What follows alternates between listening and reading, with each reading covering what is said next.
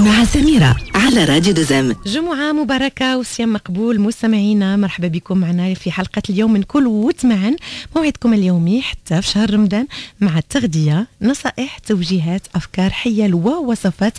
الكل والمزيد مع السي نبيل عياشي صباح النور. صباح الخير سميرة وصباح الخير السادة المستمعين. أش أخبارك؟ الحمد لله. كل شيء لاباس؟ جمعة مباركة عليك عليك والطاقم وش ما التقني تمنيتي. والسادة المستمعين إن شاء الله. والمخرج اللي معنا طبعا. اليوم كلامنا على سلطان مائدة الإفطار. ثمرة من أحلى الثمرات.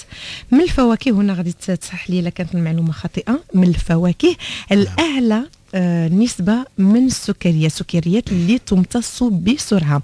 كنا من اليوم على التمر البلح الرطب أو البسر هذو كلهم أسماء تنعطيوها للتمر. صح. آه، هو فاكهة أو لا؟ نعم تدخل في خانة الفواكه. الفواكه الجافة. ماشي الفواكه المجففة. لأن كاين هناك فرق. فهو داخل في خانة الفواكه وهو داخل في الخانة ديال الفواكه الجافة والأغلبية ديال الفواكه إلا ما قلناش ربما جل الفواكه بخلاف آه، عفوا ال- الأفوكا تحتوي فقط على سكريات. والتمر هو كذلك يحتوي فقط على سكريات فيما يخص المكونات الطاقية عفوا. وبالتالي فهو يعتبر من آه، الرئيسية اللي خصها تكون حاضرة عندنا في المائدة ديالنا. لأن ملي تنتحدثوا على التمر تنتحدثوا على مجموعة مكونات غذائية اللي آه، ضروري خاصنا ندخلوها الجسم ديالنا واللي عدم إدخالها الجسم يقدر يؤدي إلى مشكل. فالتمر هو يعتبر من الأغذية اللي غنيه بمجموعة مكونات غذائية واللي مركزه في مكون في, في, غذاء واحد وفي كمية اللي هي صغيرة. فإلا خدينا مثلا واحد آه، ثلاثة تمرات مثلا اللي يعطوني واحد ال 20 ولا 25 غرام. فتلقاو فيهم تقريبا 70 آه، سعرة حرارية. وتلقاو فيهم تقريبا 20% ديال 20 غرام عفوا ديال ديال السكريات بالإضافة إلى الألياف. يعني فشوف فقط ثلاثة ديال التمرات تعطيوني تقريبا 70 سعرة حرارية وتعطيوني 20 غرام ديال ديال ديال السكريات. هذا ماذا يعني؟ هذا يعني بأن التمر هو يعتبر من بين الأغذية اللي تحتوي على السكريات بشكل كبير واحتوائها على السكريات تخليها أنها تعتبر من بين الأغذية اللي تتكون حاضرة دائما في المائدة ديال الإفطار ديالنا وهذه نقطة إيجابية. وإن كان أن التمر خاصو يكون حاضر طيلة آه، أيام السنة. لأنه هو غنرجعوا دائما هو داخل في الخانة ديال الأغذية. كذلك اللي ما تتخسرش وبالتالي اللي خصها تخط طيلة السنة. والتناول ديال التمر طيلة السنة عنده مجموعة ديال الفوائد ماشي فقط غير فيما يخص السكريات بل فيما يخص مجموعة المكونات الغذائية. فالتمر هو آه، كيف ما قلت أنه آه، بالإضافة إلى احتواء على السكريات يحتوي على نسبة مهمة من ال- ال- ال- الفيتامينات كفيتامين بي 1 فيتامين بي 2 بي 3 بي 5 بالإضافة إلى آه، فيتامينات أخرى. بالإضافة لهذا يحتوي على نسبة مهمة من الأملاح المعدنيه وهنا ملي تنهضروا على الأملاح المعدنيه اللي فيها ال- ال- ال- اللي كاينة في التمر. فهنا تنهضروا على الأملاح المعدنيه اللي هي آه، الدراسات تثبت انها أن ملي تطلق هذه الأملاح المعدنيه مع السكريات تعطي واحد التأثير إيجابي بالنسبة للخلايا الدماغية. فإحنا دك- شفنا بأن التمر يحتوي على السكريات. بالإضافة لهذا التمر يحتوي على مادة البوتاسيوم. يعني تقريبا أكثر من 500 ملغ ديال البوتاسيوم في كل 100 غرام. وهذه نقطة إيجابية بشكل كبير. علاش؟ لأن البوتاسيوم تعتبر من بين الأغذية بين. الأملاح المعدنيه اللي هي أول مهمة بالنسبة للعضلات. هذه النقطة وبالتالي البوتاسيوم هو آه، من بين أهم ال- المكونات الغذائية اللي تتلعب دور مهم بالنسبة للعضلات ديالنا. كذلك مهم بالنسبة للتنقية ديال الجسم لأنه يعتبر من بين ال- المكونات الغذائية المدره عزكم الله للبول ديالنا. كذلك مادة البوتاسيوم هي تدخل في الخانة ديال المكونات الغذائية اللي تساعدنا باش نقصوا من ارتفاع الضغط الدموي وتتلعب دور ديال التنقية. فهذه المادة ديال البوتاسيوم اللي آه عن طريق إدخالها الجسم ديالنا عن طريق تناول التمر يلعب تتلعب دور كبير جدا كذلك في نقل السيال ال- ال- ال- ال message ديال ديال الخلايا العصبية. فتناول مادة البوتاسيوم وت- مع السكريات السريعة مع فيتامينات المجموعة مع المغنيسيوم هذه كلها مكونات غذائية اللي عندها علاقة بالخلايا الدماغية. اللي تتقلل من الحده ديال التوتر ومن الحده ديال النرفزة وحنا بدينا نشوفوا بأن هذا المشكل ديال ال stress هو المشكل الرئيسي اللي اصبح عندنا. الأبعد من هذا أن التمر السكريات اللي فيه هي عبارة عن سكريات اللي هي بسيطه سكريات اللي هي قليلة الامتصاص وهنا تنهضر سريعه الامتصاص عفوا. وهنا تنهضروا بطبيعة الحال على هذه المنافع بالنسبة للأشخاص العاديين. بالنسبة للأشخاص اللي تيعانيوا من مرض من الأمراض خاص استشارة ديال الطبيب المعالج ديالهم قبل ما يتناولوا هذه المادة ديال التمر. فقلت أن السكريات اللي كاينة في التمر هي تعتبر سكريات بسيطة سكريات سريعة الامتصاص وبالتالي فبمجرد ما أنني تندخلها الجسم ديالي تترفع لي بسرعة نسبة السكر في الدم. هذيك هذاك الشيء اللي قلنا في الإفطار نبداو به ضروري. ونتسناو شي شوية بما وصل هذاك le signal نعم. ديالنا نعم لأن إلا ما احترمناش هذه المسألة هذه شنو تيوقع تندخلوا في الفطور بالزربة وتنبقاو ناكلوا وتنقدروا نوصلوا للكميه اللي كلينا وحنا باقيين تنتناولوها.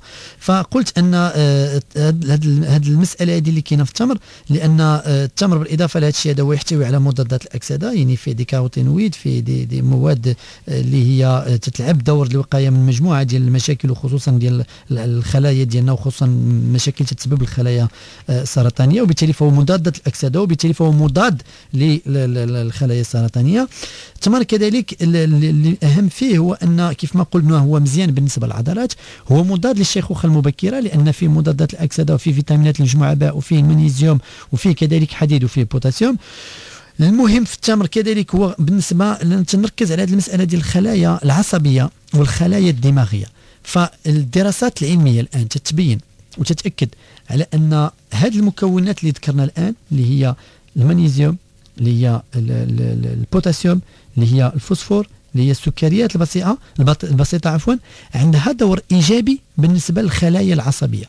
وهذه نقطة إيجابية فتناول التمر عنده واحد التأثير إيجابي بشكل كبير على الخلايا العصبية وعلى الخلايا الدماغية ديالنا. أشنو تعني؟ هذا تعني بأن تناول ديال التمر خاصو يتم بشكل يومي. بطبيعة الحال ما تنقولوش ناكلوا كيلو ولا كيلو ونصف في النهار تناول ديال الحبات أربعة الحبات خمسة الحبات في النهار هي كافية ولكن ماشي غير في رمضان ونحبس.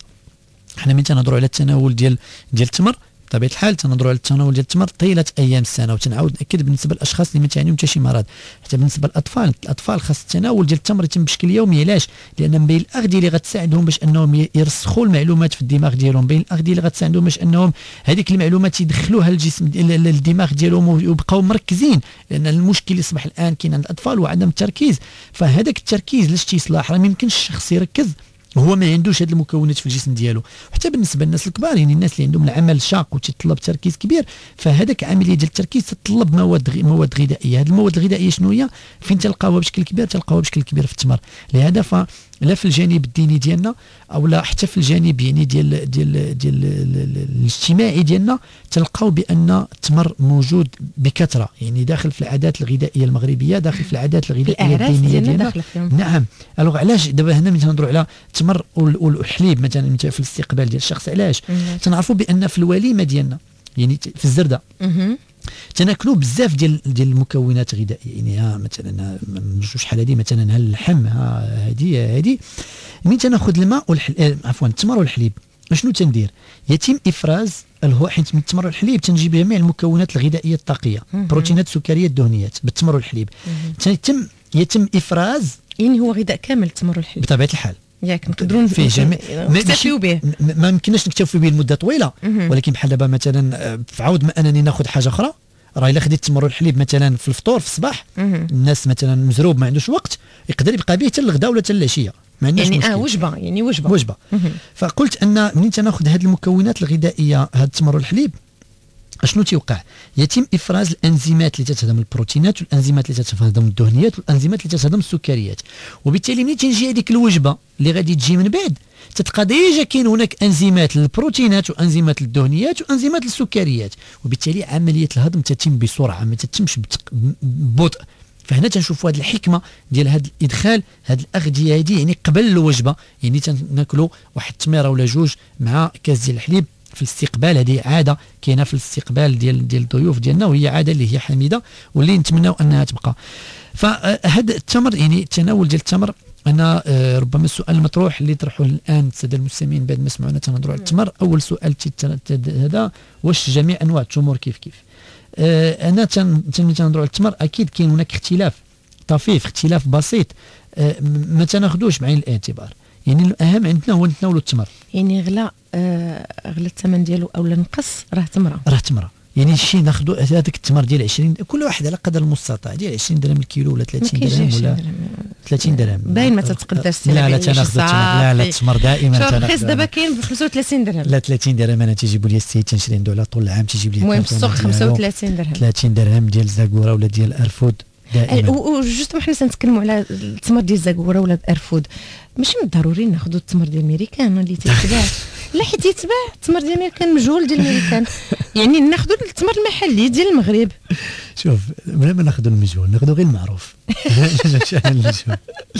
المعروف 30 درهم حيت المغاربه عزيز علينا حنا المجهول. نعم اللي عنده الاستطاعه لا المجهول يعني من بنين للمجهول مشى عليا الطوبيس مشى عليا الوقت. اللي عنده الاستطاعه بغى ياخذ المجهول ياخذ المجهول. ولكن التمر بطبيعة الحال تيبقى إحنا باش يعني عنده علاقة بالأرض ديالنا عنده علاقة بطبيعة يعني الحال. فراسك بأن التمور المغربية تعتبر من بين أفضل التمور عالميا. لا مما لا شك فيه. راه راه هذه يعني ماشي تنقولوها حيت حنا مغاربة تنقولوها هذه حيت كاينة.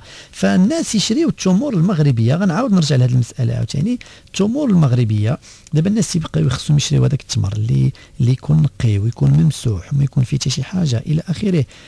يعني لا غير بالمقارنة مع التمور اللي غزات الأسواق مؤخرا ديال الإمارات وديال الخليج. يعني حنا مولفين هنايا في المغرب لأن تناكلوا إما التمر ديالنا ديالنا ديال الصحراء ديالنا يا إما التمر ديال الجزائر يا إما التمر ديال تونس. شوف ديال المغرب كاين التمر المغربي وكاينين الناس اللي تيقوموا بالتجارة بدون غش في التمر المغربي خصنا نشجعوهم وخصنا نستهلكوا التمر المغربي. ربما شكلا كاين اللي ما تيعجبوش ولكن غذائيا راه مفيد. الناس ديك الساعة اللي بغى يشري المجهول يشري المجهول اللي بغى يشري حاجة أخرى يشري حاجة أخرى. حنا المهم اللي تنقول بأن كاين هناك اختلاف بسيط طفيف فيما يخص المكونات الغذائية. وراه التمر ديال 30 درهم راه حتى هو فيه نفس الفوائد اللي ذكرنا الآن وفيه نفس القيمة الغذائية اللي ذكرنا الآن وراه مهم كذلك بالنسبة للصحه وماشي غير المجهول اللي نقدروا نعمروه حتى التمر العادي نقدروا نعمروه. واليوم غادي نعطيكم واحد الوصفة سهلة باش باش نعمروه. غادي نعمروه باللوز مطحون لكن بطريقة أخرى. هذا اللوز تنطحنوا طبعا مع شوية ديال السكر تنزيدوا عليه شوية ديال الماء ورد آه السكر غنديروا فيه غير vraiment غير شوية. علاش؟ لأن غادي نستعملوا معاه الحليب المركز المحلى. نديروا القياس اللي تجمع بين تجمع لينا به هذيك لاباط نديروا بها كويرات ونعمروا بها هذيك التمرة. لذيذ بزاف وهذه طريقة. يعني واخا واخا التمرة ما تكونش مجهولة نعم. تمره عادية نعمروها بهذا اللوز مطحون بالماء ورد وحليب مركز محلى تيختلف على العقدة اللوز ديالنا المغربية. نعم. تنعمروها به وتيكون زوين للتقديم للضيوف ديالنا. مسألة عجيبة ديال هذا التمر واللوز لأن من تنخلطوا التمر واللوز كيف ما ذكرنا بالنسبة للحليب الحليب المركز المحلى الله يخليك.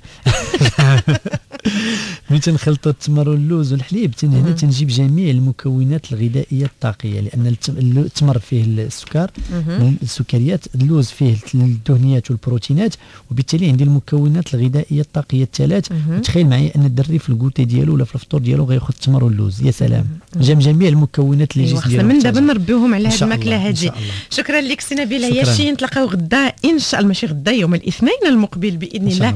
وحلقة جديدة من كل وت معا نبداو بها أسبوع جديد.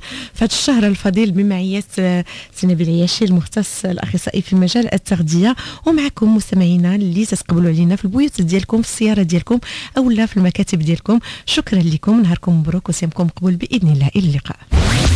كلت معا يعود يوم الإثنين.